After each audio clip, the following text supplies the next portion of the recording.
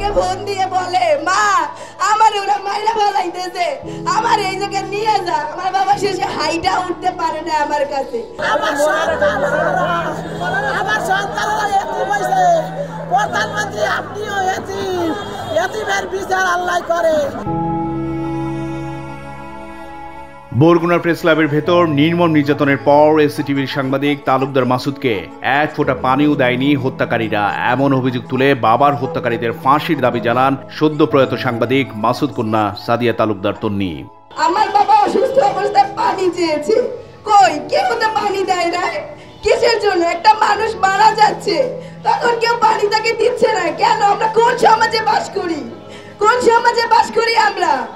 যার বাবা হারাইছে সে ছাড়া এটা কষ্ট কেউ বোঝে না।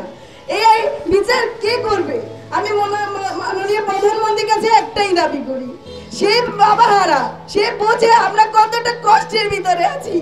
আমার লেখাপড়া শেষ হয় নাই, আমার এই ভাইটা মাত্র সেভেনে পড়ে।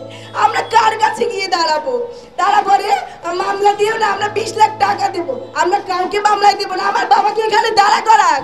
আমরা শুনব, মা, তুই আইসস আমাকেও ডাক দিস আমার বাসায় আইসো কই, আমার বাবাকে পারবে ওরা আসতে? আমার বাবা আমাকে ফোন দিয়ে বলে, মা, আমার ওরা মাইরা ফেলাইতেছে। আমার এই জায়গায় নিয়ে যা। আমার বাবা শেষে হাইটা উঠতে পারে না আমার কাছে। আমারে কত কথা বইলে গেছে, কত কষ্ট নিয়েছে সে কেসে এই প্রেস ক্লাবের মানুষ এমন কি অপরাধ করছে আমার বাবায় যে এই প্রেস ক্লাবের মানুষ তাকে শেষ করে দিছে। আমি মাননীয় প্রধানমন্ত্রীর কাছে একটাই দাবি করি, তারও বাবা নাই। সেও অল্প বয়সে বাবা হারা হয়েছে। আমরা অল্প বয়সে বাবা হারা হয়েছি। আমি আমার এই বিচার চাই আমি তাদের ফাঁসি চাই। পাঁচ মার্চ মঙ্গলবার সকালে এলাকাবাসী উদ্যোগে বরগুনা শহরের পৌর সুপার মার্কেটের সামনের সড়কে এই কর্মসূচি পালন করা হয়। নিহত সাংবাদিক তালুকদার মাসুদের পরিবার, আত্মীয় স্বজন ও এলাকাবাসী এবং বরগুনা সদর উপজেলা ইউপি সদস্য অ্যাসোসিয়েশন মানববন্ধনে অংশ নেন। প্রত্যক্ষদর্শী হওয়ার পরেও কেন তাদের পক্ষে একটা ভিডিও বার্তা দিলাম না? এই কারণে আমাকে তাদের গ্রুপ থেকে বাদ দেওয়া হয়েছে। আমাকে মামলায় পর্যন্ত আসামি করা হয়েছে। আমি এই মাসুদ তালুকদার হত্যার বিচার চাই। বিচারের দাবিতে মূলত আজকে আমরা দাঁড়িয়েছি। এই প্রেস ক্লাবও কোন সাংবাদিকের কোনো কামে লাগে না। এটা তালাবদ্ধ করে রাখা হোক। মামলার তদন্তের স্বার্থে এখানে আলামত বিনষ্ট করার আগে এটি তালাবদ্ধ করে রাখা হোক। যদি আপনারা না পারেন, আমরা সকল জনতা মিলে আমরা তালাবদ্ধ করে আপনাদের হাতে দিয়ে তালুকদার মাসুদের হত্যার ঘটনার তীব্র নিন্দা জানিয়ে এই ঘটনায় যারা জড়িত, তদন্ত সাপেক্ষে তাদেরকে বিচারের আওতায় আনার দাবি জানিয়ে আমি প্রশাসনেরকে জোর দৃষ্টি জানাচ্ছি, এই ঘটনাকে কোনো রাজনীতিতে জড়াবেন না, এই ঘটনাটা নিছক একটা হত্যাকাণ্ড এবং এই হত্যাকাণ্ডকে শুধু হত্যাকাণ্ড হিসাবেই দেখবেন। এখানে সাংবাদিকদের দলাদলি বা এই সব বিষয় আপনারা দেখবেন না।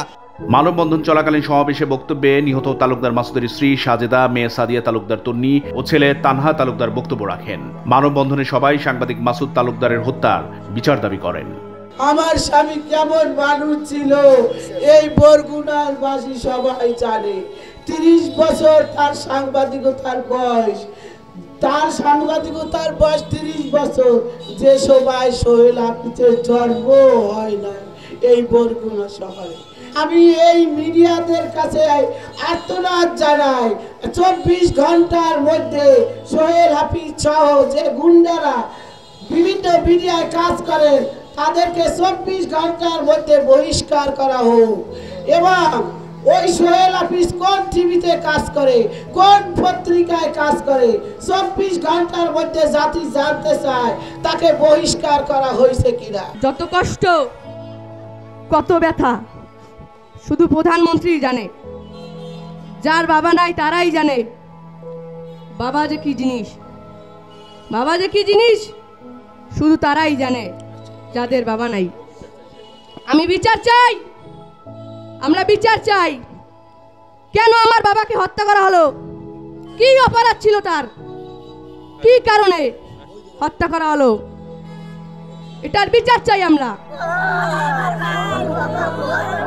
ভোরের পাতা নিউজ ডেস্ক।